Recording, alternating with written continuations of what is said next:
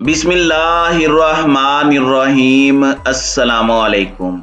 नाजरीन कराम नई वीडियो में आपको खुश आमदीद कहते हैं, मुसलमानों का किबला अव्वल एक मरतबा फिर यहूदी दहशत गर्दी की लपेट में मस्जिद अक्सा को गिराकर हैकले सुलेमानी को तामीर करने की घनौनी साजिश बेनकाब।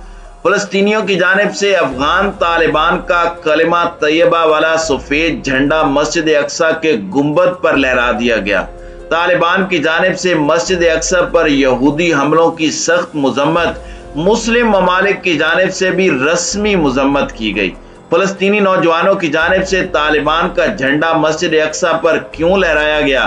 क्या फलस्तीनी मुसलमान तालिबान की मदद का इंतज़ार कर रहे हैं? हकायक क्या हैं, इस पर हम आज की वीडियो में बात करेंगे।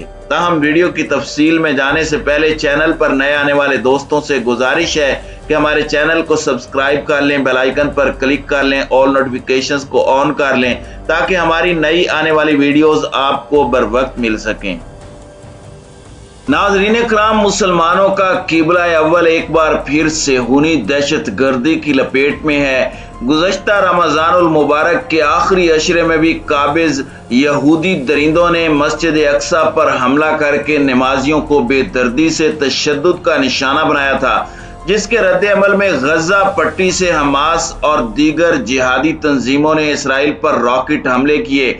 इस पर मुश्तमिल मुश्तिल होकर नाजायज यहूदी रियासत ने इस मासूर पट्टी पर आतिश और आहन की बारिश बरसा दी, जिससे सैकड़ों फलस्तीनी शहीद और जख्मी हो गए। बिलाखिर, मिस्र की सालसी में जंग बंदी हो गई। इस बार चूँकि पंद्रह रमजानुल मुबारक से यहूदियों का सबसे मुकदस त्यौहार ईद उल फसा या पास ओवर शुरू हो चुका है, ये त्यौहार यहूदी सैदना हज़रत मूसा सलाम की बनी इसराइल के हमरा फिरौन के मजालिम से निजरात बैर कुलजम को बाहिफाजत पार करने और फिरौनी लश्कर के गर्क होने की याद में मनाते हैं। क्योंकि यहूदियों का बुनियादी अकीदा है कि मस्जिद अक्सा उनकी इबादत गाह हैकल सुलेमानी की जगह तामीर किया गया है। इसलिए वो इसे गिराकर अपने मजूमा हैकल की तामीर को कौमी फरीजा समझते हैं। इसकी राह हमवार करने के लिए साल भर मस्जिद अक्सा के गिर्द खुदाई और उसकी बुनियादों को कमज़ोर करने का सिलसिला जारी रहता है। पास ओवर, यानी हैकले सुलेमानी के मौके पर यहूदी शिदत पसंदों ने ऐलान किया था कि वो इस बार मस्जिद अक्सा के अंदर अपनी कुर्बानी का जानवर जिबा करेंगे। यहूदी इस ईद के मौके पर भेड़ कुर्बान करते हैं, फिर इसका खून मस्जिद अक्सा के दरो दीवार पर मलेंगे। ये उनके नज़दीक हैकले सुलेमानी की तामीर के लिए गोया एक तमहीद है। इसके जवाब में तमाम फलस्तनी धड़ों की जानब से सख्त रद्द अमल का इजहार किया गया। बुध के रोज मुश्तर प्रेस कॉन्फ्रेंस करते हुए फलस्तीनी क्यादत ने यहूदियों के इन मजमूम अजायम को नाकाम बनाने का ऐलान किया, जबकि यहूदियों की इस शरंगेजी को रोकने के लिए फलस्तीनी नौजवानों ने भी कलिमा पढ़कर अहद किया कि जान तो दे देंगे, लेकिन अल अक्सा की हिफाजत को यकीनी बनाएँगे। नाजरीन कराम दिलचस्प बात यह है कि तरावी की नमाज़ के बाद जब फलस्तीनी नौजवान गुंबद खिजरा के अहाते में किबला अव्वल की हिफाजत के लिए अपने अज़म समीम का ऐलान कर रहे थे। तो उस वक़्त जगह जगह अफगान तालिबान का कलिमा तैयबा वाला सफ़ेद परचम लहराया गया, जो इस बात की गमाजी करता है कि फ़लस्तीनी आवाम की उम्मीदों का महवर और मरकज़ अब अफगान तालिबान है। जबकि तालिबान ने भी इस मौके पर इसराइली इकदाम की मजम्मत के साथ तमाम मुस्लिम ममालिक से अपील की है कि वो किबले के लिए मुतहद और मुतफिक हो जाएँ।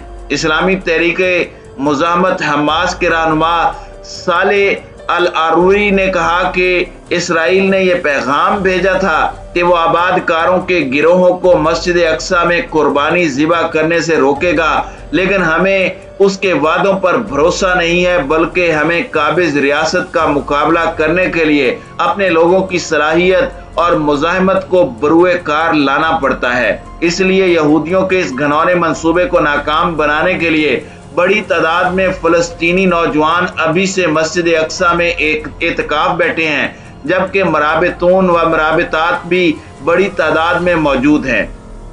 नाजरीन कराम मराबतून और मराबतात फ़लस्तीन के वो नौजवान लड़के और लड़कियाँ हैं, जो खुद को किबला अव्वल की हिफाजत के लिए वक्फ कर रखा है। इनकी तादाद तकरीबन 2000 है। दिलचस्प बात यह है कि इन नौजवानों में मुसलमानों के साथ ईसाई भी शामिल हैं। रायद नसर नामी एक मकामी मसीही की तस्वीर सोशल मीडिया पर वायरल है, जो किबला अव्वल की हिफाजत के लिए वहाँ एतकाफ में बैठा है। जुमे की सुबह नमाज़ फजर के बाद इसराइली फौज ने अचानक मस्जिद अक्सा पर धावा बोल दिया। नमाजियों पर तशद आँसू, गैस का बेतहाशा इस्तेमाल और रबड़ की गोलियाँ बरसाकर सैकड़ों नमाजियों को जख्मी कर दिया। मस्जिद के तकदस को बुरी तरह पामाल किया गया, जबकि 200 के करीब नौजवानों को गिरफ़्तार कर लिया गया। इसराइल के ऐसे घनौने इकदाम पर मुस्लिम दुनिया पर सकूत मर्ग तारी है। सिर्फ़ जुबानी कलामी इजहार मजम्मत के सिवा कोई इकदाम नहीं किया जाता। इस बार भी ऐसा ही देखने में आया, बल्कि मकाम इबरत के यूरोपीय यूनियन की जानब से नमाजियों पर तशद की मजम्मत पहले की गई। शायद उसे देखकर मुस्लिम हुक्मरानों को होश आया और मजम्मती बयान जारी करके अपनी ज़िम्मेदारी पूरी की गई। अरब ममालिक और इस्लामी तंजीमों ने मुतालबा किया कि इसराइल मस्जिद अक्सर पर हमलों को रोके और आलमी बरदरी काबिल फौज को रोकने के लिए मुदाखलत करे।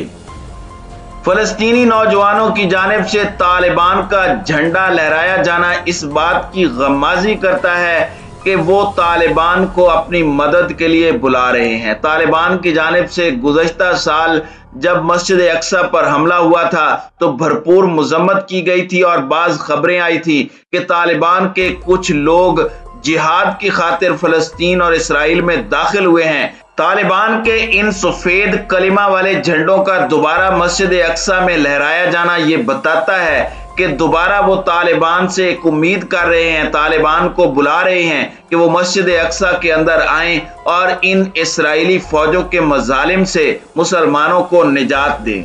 वज़ीर अजम पाकिस्तान शहबाज शरीफ ने भी इसराइली फोर्सेस की जानब से मस्जिद अक्सा पर हमले की शदीद अल्फाज में मजम्मत की है।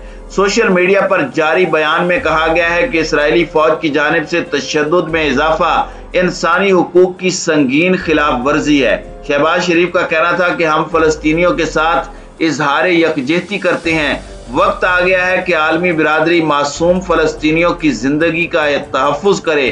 आलमी बिरादरी फलस्तीन से मुतल अकवाम मुतहदा के चार्टर और आलमी कवानीन को मुकदम रखे। मस्जिद अक्सा पर इस धावे के बाद इसराइली फोर्सेज ने सख्त रुकावटें खड़ी की थी। ताकि फ़लस्तनी मुसलमान नमाज़ जुमा के लिए वहाँ न पहुँच सकें। मगर इन रुकावटों को तोड़ते हुए तकरीबन पचास हज़ार अफराद किबला अव्वल पहुँचने में कामयाब हो गए। जुमे के खुतबे में मस्जिद के खतीब ने आलम इस्लाम और अरब ममालिक में इतिहाद और इतफाक पर ज़ोर दिया। उन्होंने इसराइल के साथ दोस्ती करने की मुहिमात की, शदीद मजम्मत की और फलस्तीनियों से भी अपनी सफ़ों में इतिहाद और यकजहती का मुजाहरा करने पर ज़ोर दिया। नाजरीन कराम अगर अमलन देखा जाए तो मुस्लिम ममालिक किबला अव्वल को भुला चुके हैं। अब तो यके बाद दीगरे इसराइल से सफारती ताल्लुकात कायम कर रहे हैं। डेढ़ अरब मुसलमानों में से सिर्फ़ फलस्तीनी बाशिंदे किबला अव्वल की हिफाजत का फ़र्ज़ किफाया अदा कर रहे हैं। बाकी मुसलमान खुद को इसका वारिस समझने की अहलियत भी खो चुके हैं। फलस्तीनियों को अगर किसी हद तक कुछ उम्मीद है तो वो तालिबान से उम्मीद करते हैं कि तालिबान किसी वक्त भी इसराइल से उनको निजात का बायस बन सकते हैं।